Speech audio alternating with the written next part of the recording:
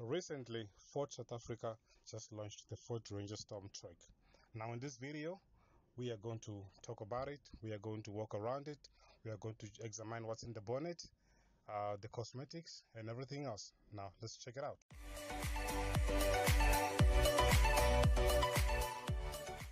Now, as you can see, the grill has got some red accent there just to make the car look beautiful and aggressive at the same time. Now, let's go around. As you can see, it comes standard with the blacked 18 inches alloy, you know, and some Stormtrak on the side and also obviously some uh, decorating paint. The whole profile of the car is looking very good. This Stormtrak has 230 millimeter ground clearance, which means you can take it anywhere you want. Uh, and also it comes fitted with an electric roller shutter at the back for your bed obviously to cover your stuff. And also it is built in with a divider so you can divide things that you want to put there on this uh, new Stormtrak.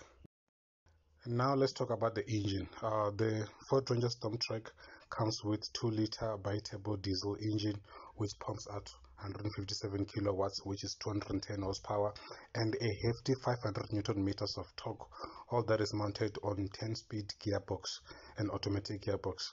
And then also the towing power is 3500 kilograms. So you can tow your trailer your big trailer. You, you could tow another car. You can do just about anything because it's powerful. Now let's talk about the interior.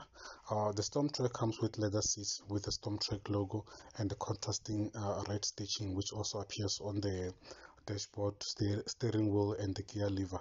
And also it comes standard with adaptive cruise control with forward collision alert and also autonomous emergency braking. That was all with regards to the new Ford Ranger Stormtrak. Uh, please comment, subscribe, like, and stay tuned till we meet on the next one. Thank you very much.